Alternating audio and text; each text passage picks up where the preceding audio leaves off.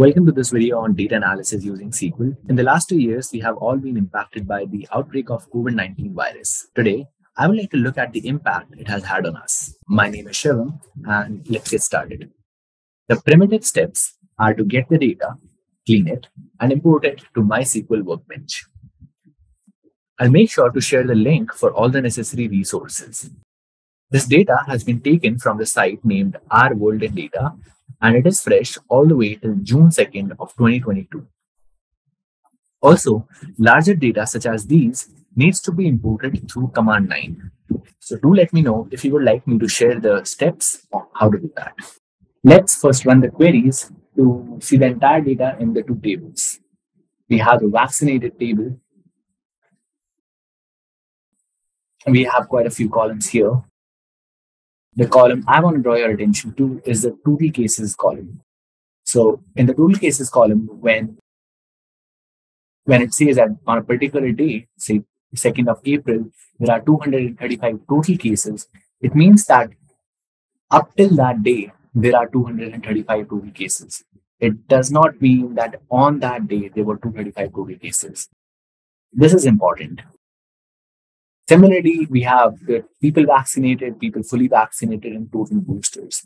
They are essentially a running total of their individual columns. Let's look at the second table, the casualties and cases. Uh, we have the total cases, again, a running total column, and total deaths. Um, in new cases, the cases are a little different. When we say of there are five new cases.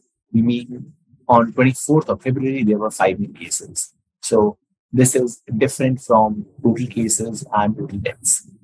That was about the tables. Now let's run a few queries to derive insights out of data. For the benefit of time, I have written all the queries beforehand. Though I'll make sure to share the GitHub link uh, for all these queries in case someone would like to use them. Now let's begin with the first one, Firstly, depending upon the country we are living in, let's see the likelihood that we are vaccinated or not. So, likelihood of being vaccinated, and here's the query. I'm going to run it.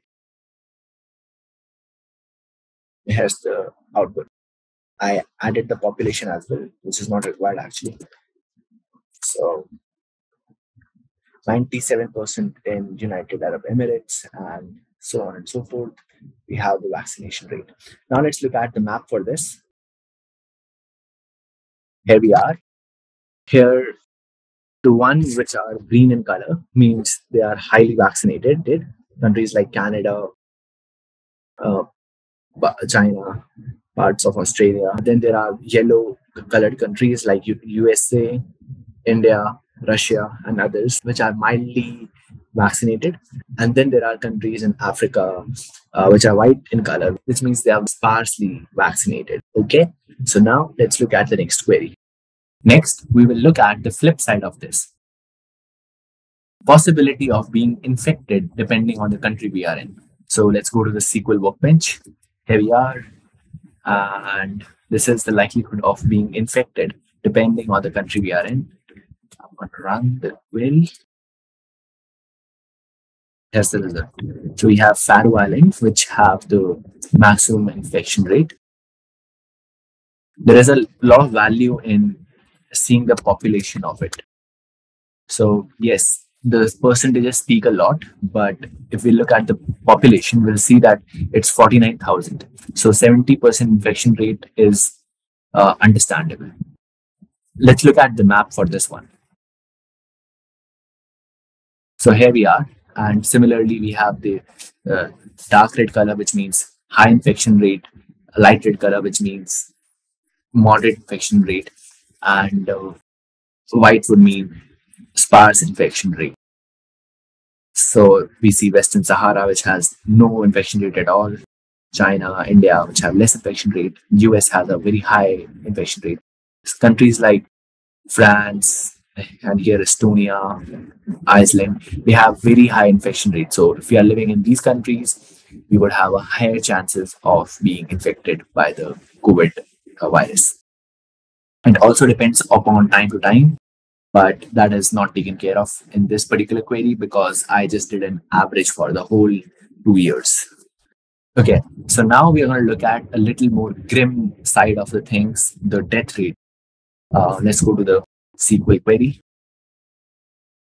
What I am interested in are those countries which have a higher death rate than the global death rate. If I only run this query, I will find all the countries with their individual average number of deaths. Now, we're going to find the global average of uh, deaths that have occurred due to this disease. So if I run this query, these are user defined variables set at. So this is how we set a variable according to our needs.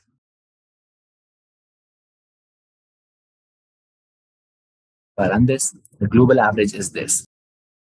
Now, if I run this particular query, I will find all those countries which have their average deaths greater than the global average. Uh, let's see, what is it? And we have a total of 50 countries which have a higher uh, death rate than the global average deaths. Let's see the graph for this. Here we are at the graph, and uh, we see that there are around 20 30 countries which are making which are actually the outliers and making the global average the highest. If we go down that then the countries which which are lesser than the global average are not too less. They're not too far away from the global average. But if we go on this side we see a huge difference the numbers. This tells us that there are a few countries which were very highly affected by COVID than the other ones. Next, let's see the density of total number of cases per country. Back to our SQL workbench. And uh, this is the query we're going to run. Let me run this. And this is the percentage of population infected in the uh, country 70% in Faroe and Faroe Island and Andorra, Gibraltar, and so on and so forth. Now, let us say this is an important query and we want to use it often. So, for that, we would like to create a view. So, how do we do that? So, I'm going to write drop view if exists, which would do that if I already have a view called cases density, which I will if I run the entire query again so it will take care of that thing. All right, so let's run this. And now we have our query. Now we're going to do select all from cases density. Gonna run this.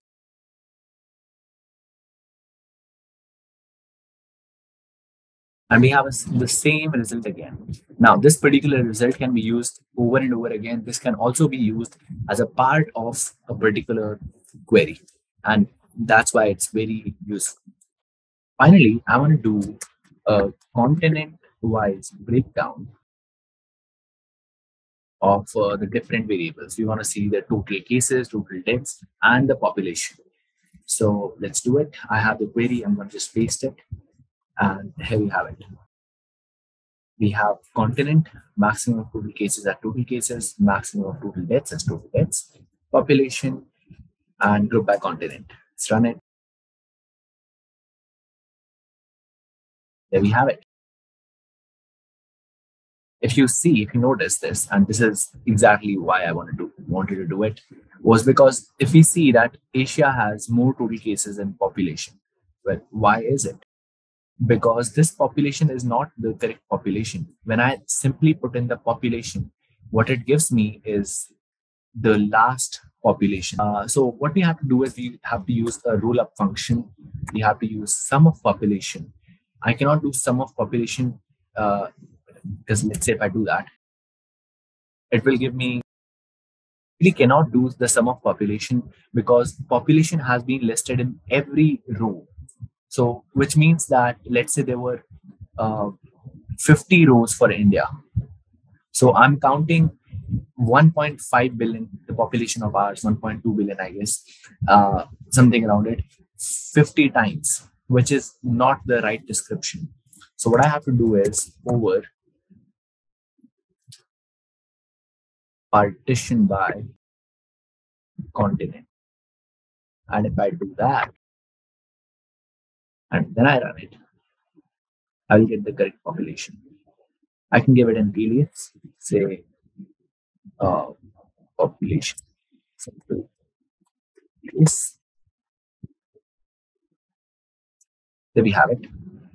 The correct, the total cases, total deaths, population for all the continents. That's all I wanted to share. Thank you all for watching. Uh, with this, we come up full circle. I hope you got something out of this video, and I'll see you guys some other time with some other informative video. With that, have a good one. Bye bye.